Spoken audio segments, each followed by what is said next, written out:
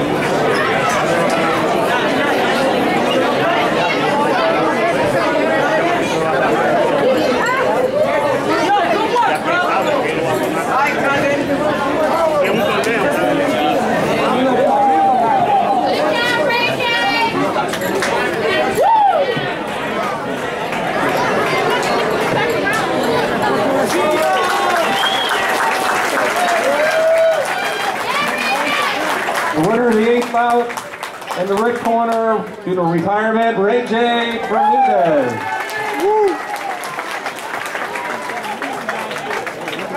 Okay, ladies and gentlemen, we're going to have a brief intermission now. Make sure you stop over and grab your 50-50 ticket.